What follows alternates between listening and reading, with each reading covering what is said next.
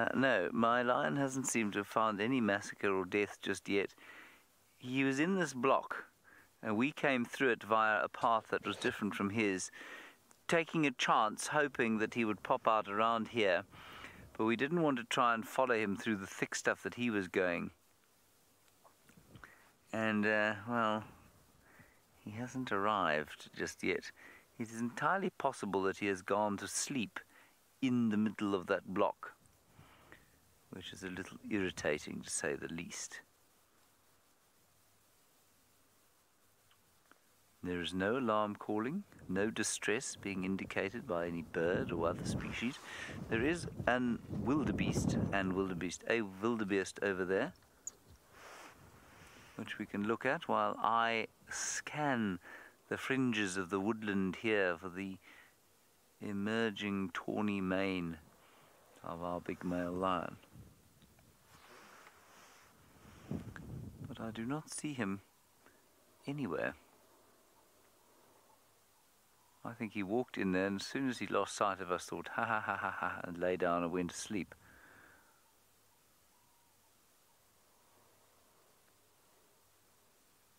So I'm sorry about that. Anyway, there's the wildebeest looking deeply undistressed by life. So he doesn't think there's a male lion coming this way. And as you can see, the Mara is not the only place with great swathes of clearing around. Here we are in clearings with the wildebeest. And uh, it's the one animal that, for love nor money, Brent will be unable to find at the moment. You can find every other kind of predator that there might be on planet Earth, but uh, no wildebeest at the moment. They will be coming up from the south fairly soon into the Mara. Uh, this lion, I'm afraid, has gone, as they say in game drive language, a lalapansi. He's gone sleep down. There he is.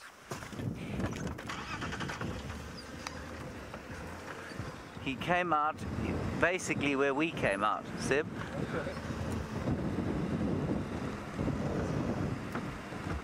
We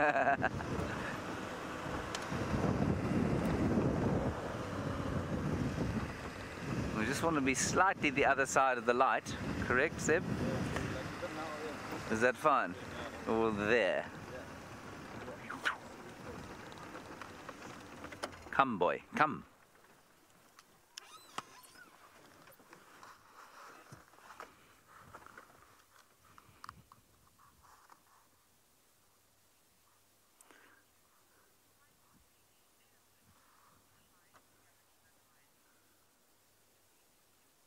Now, White Lady Irwin, you want to know if a lion would scavenge another lion's food?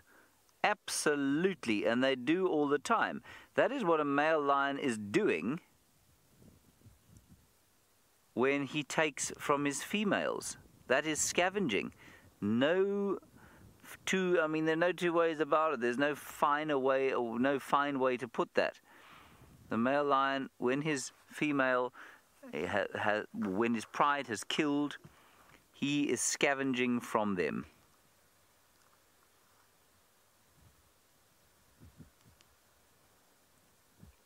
Oh, that's wonderful. That's what you want to see.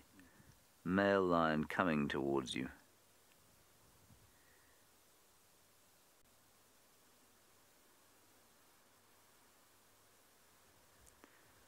It is very beautiful, Louise. That is correct especially across grassland like this.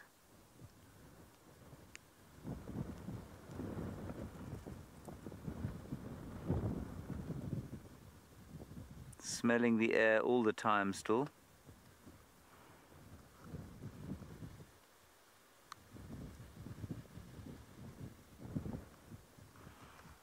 Isn't that special?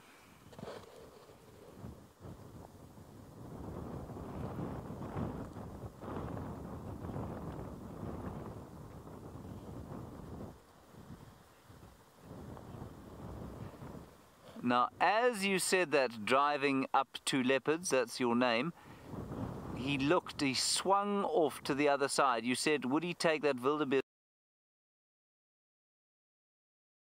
on alone. He would. I just don't think in these conditions he would. I think you'll find that these conditions are completely suboptimal for a male lion wanting to hunt something. And he therefore would not be doing a great deal of hunting on his own. It's too bright. That wildebeest will run away from him.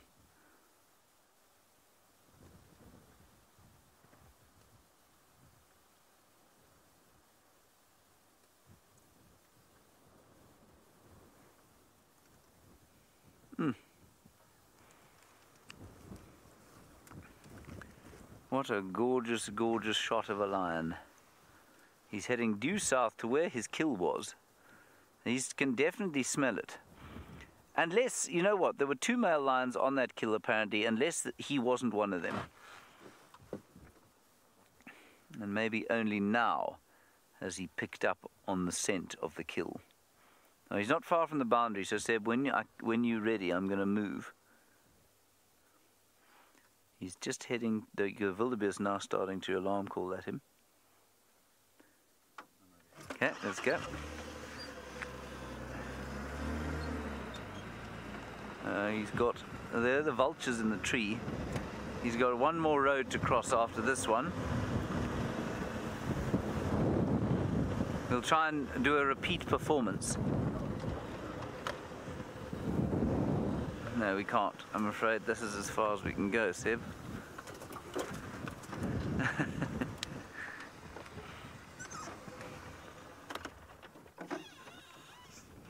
so he's now crossing the boundary into Mala Mala. Let me get my bonce out of the way. There are some impala. I'll just tell you about them while we, you look at the lion. There are some impala to the south there now looking at him. There are some vultures which we'll show you shortly. He's now in Mala Mala.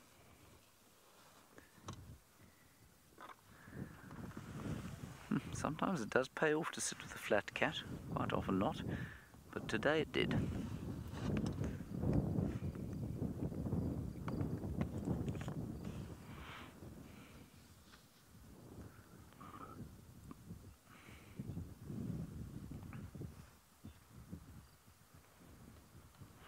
Dustin, difficult to say. I mean, I have read these statistics, but I'm not sure that I remember exactly what it was. You say, compared to the human being, how strong is a lion's nose? I don't know about lions specifically. A hyena apparently can smell about 200 times more effectively than we can. Now, what that actually means, I'm not sure. But I think it probably means the distance from which they will smell something. So they are that much more effective. And I mean, I, certainly for a leopard, I've watched Mvula the leopard. There the vultures are. I've watched Mvula the leopard track a zebra's carcass about four kilometers. He suddenly picked it up on the wind, he turned and he ran four kilometers to the north, and we didn't know what he was doing. And eventually, he found the zebra carcass. We ran in a straight line towards it. Right, well that was gorgeous. Shall I just back up